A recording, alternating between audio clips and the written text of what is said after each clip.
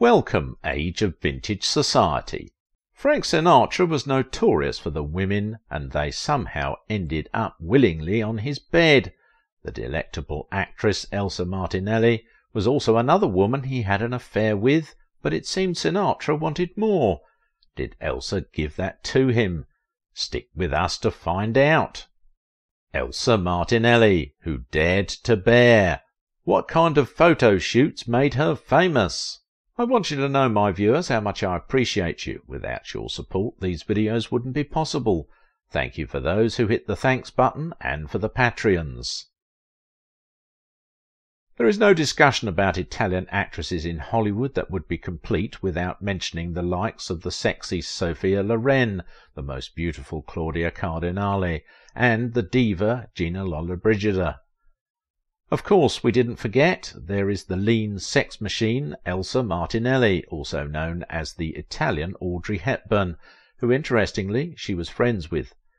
It was the perfect description of this lean actress. Like Audrey, she had a smouldering sex appeal with her thin body and luscious dark hair. She also was a tomboy and a nonconformist, and some say she was more sensual and more forceful. Martinelli had a stubborn streak to her. It was either her way or no way, no compromises. Just as Kirk Douglas. However, she and Audrey were two faces of the growing number of fiercely independent women. Europe had a way of churning out appealing actresses, and Elsa was so appealing that Gary Cooper drank champagne from her slipper, which we aren't certain is hygienic, and JFK liked her. Elsa was that much of an eye candy. But Elsa wasn't just a pretty fair and a pair of long toned legs. She has got the talent to back it up. She walked the talk and rose from the initial challenges she faced. Elsa was a tough cookie, and the kind of role she got in films portrayed this, but she did the impossible. The sexy actress managed to escape typecast that was prominent in the movie industries of the world at the time. She could be elegant in one movie and be bawling her eyes out in the next. Everything was within her wide range. Testament to her range was her comedic brilliance in the film Donatella, directed by Mario Monicelli. The movie broke her out and made her become a sizzling, sensational up-and-comer filmmakers wanted to work with. The film was the classic tale of mistaken identity that was neatly done by the director and elegantly executed by Elsa, who won the Best Actress award at the Berlin Film Festival for this film. She captured both audience and critics' attention with her portrayal of a secretary mistaken to be the heiress of a large fortune. Then she furthered her acting career with the drama Manuela, who was the titular character. Elsa's character hid on a tramp ship until she was discovered, and her presence was objected to by Trevor Howard's character. Eventually, love conquered all. She showed she could take a role on the risque side too. Despite initial objections, she became a girl who works on the streets in Mauro Bolognini's La Notte Brava or Night Heat and the film may not be your cup of tea on account of how dark it was. At least it was better than Blood and Roses, which was supposed to be a horror film. Everyone, including Elsa, had an off day with the film. Elsa was supposed to be possessed by her ancestor in the film. She was supposed to strike fear in the heart of the audience, but it fell flat. The movie wasn't spooking anyone. It was that much unsatisfactory. Without Claude Renoir and his skilful camera work, it would have been a complete waste of time for those who watched it, but there was only so much the cameraman could do. So Elsa couldn't do horror, but she was a great action star with her involvement in many action films. In The Tenth Victim she played Olga, the sexy gun-toting spurned mistress of Marcello Mastroianni, who was the prey of the hunt. The film was a science fiction action film that was set in the future, where people with violent tendencies are given license to kill lawfully. The hunts were televised with corporations in a struggle for the advertisement slots. Martinelli proved that she could do almost anything with how she flawlessly executed her role, and she looked sexy doing it. Fans would not be quick to forget her sexy white clothing, which cut out at the sides, letting the world have a peek at her delicious curves. Then there was the black gown with the white hem and the dangerous slit that exposed her attractive long legs. The movie tapped into the actress's sexiness. But that show of sexiness in the movie was mild compared to some of her other displays.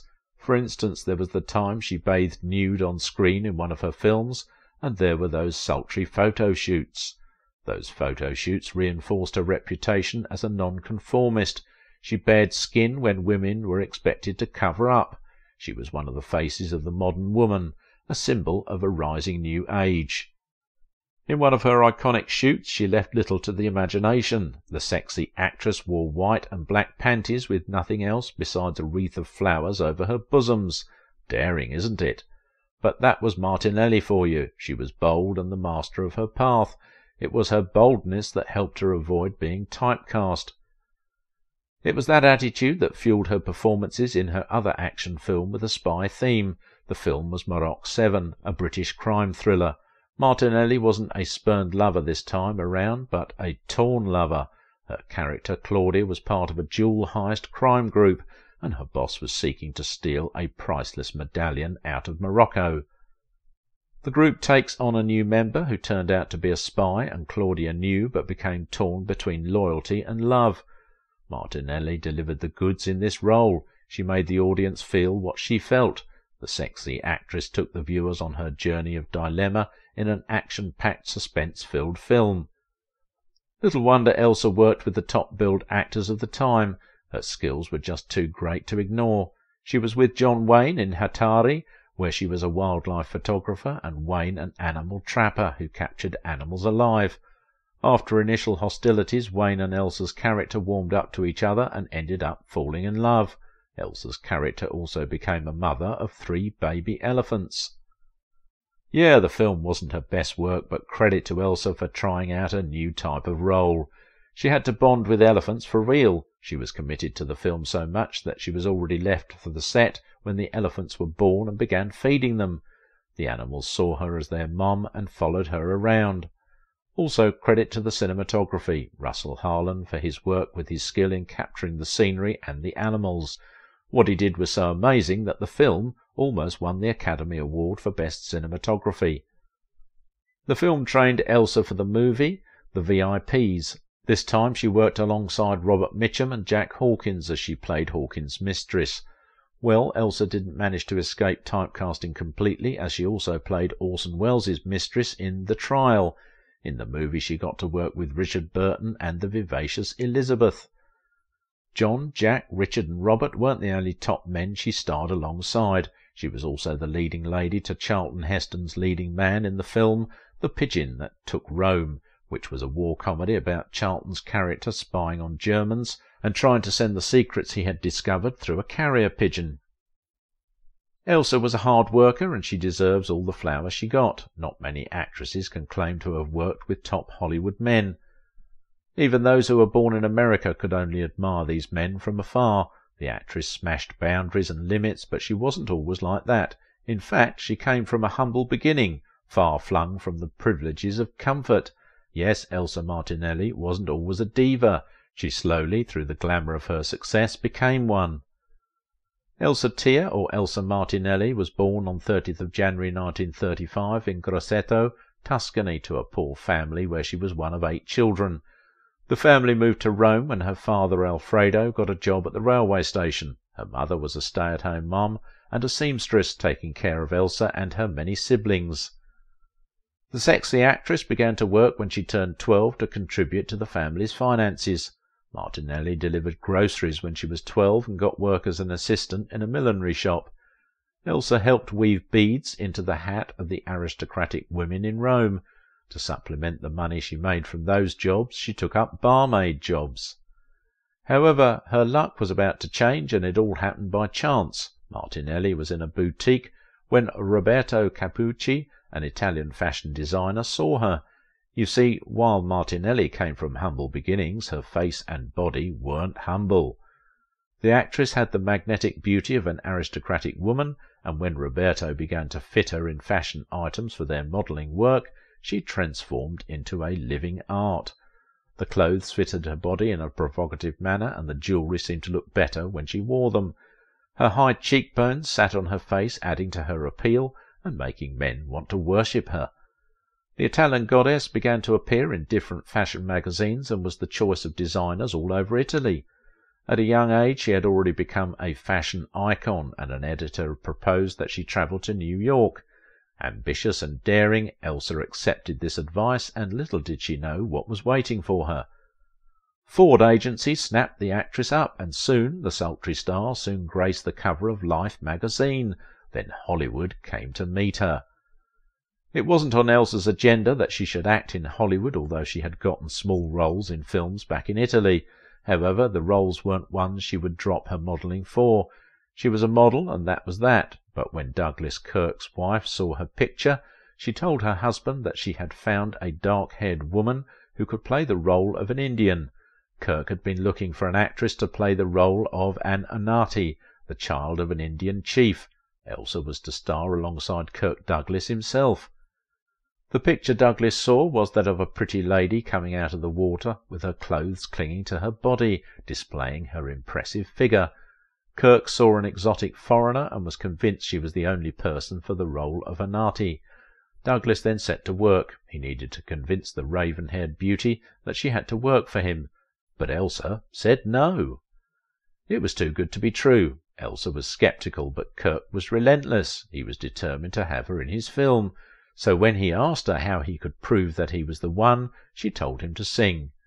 But it wasn't just any song he had to sing. Douglas had to sing the song Ned the Sailor sang in the film, Twenty Thousand Leagues Under the Sea. Kirk had spent a lot of time trying to find Martinelli for him to give up now, so he sang like a canary. It was after he sang that Elsa was convinced. Douglas thought he already had her, but Elsa was as slippery as she was pretty. Anyway, I'm fine in New York, and I don't know if I want to come to Los Angeles, she said, crushing Kirk's dreams. However, all wasn't lost yet. Eventually the actress relented. She signed a two-year deal with Douglas's production company, Bryna Productions. She acted as Onatti in Indian Fighter, where she treated the audience to brief on-screen nudity. Her performance was solid, but things suddenly went wrong. She and Kirk Douglas had a falling out. Kirk claimed that the actress was impatient and was all about the money. Elsa fired back that she wasn't focusing on the money, but it was Kirk who was the one thinking about money without a care for her.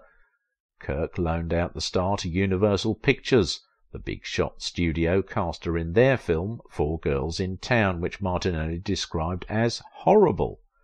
So the actress moved back to Italy, turning down the opportunity to appear in Spartacus.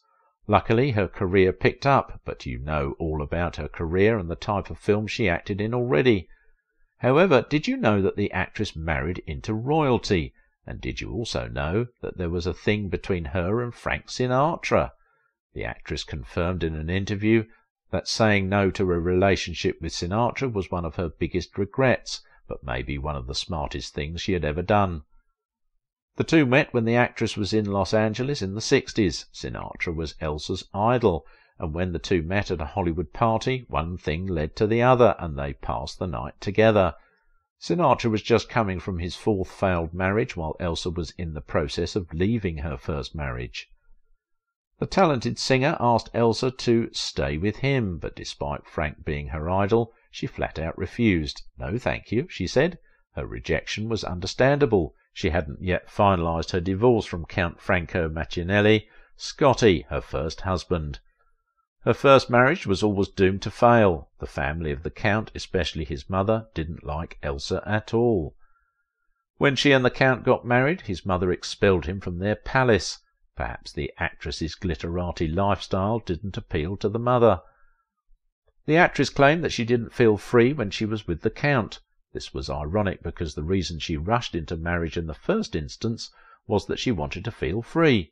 She was just tasting fame and had a lifestyle of partying. Settling down didn't appeal to her, and perhaps being a mother too, as she and the Count had a child, Cristiana. Cristiana would be her only daughter. It took years before her divorce from her first husband got finalized because, at that time, there was no divorce in Italy. So when eventually they got divorced, she married sweetheart Willy Rizzo. This time Elsa was ready for marriage. The glitterati lifestyle had reduced, at least according to her. She said she had lived with a photographer and later a furniture designer for so long that her inability to stay in place got reduced. It would appear that by her second marriage the actress had become much more mature and responsible. The actress and her second husband, Willy, lasted for as long as he was alive. They were until 2013, when he died.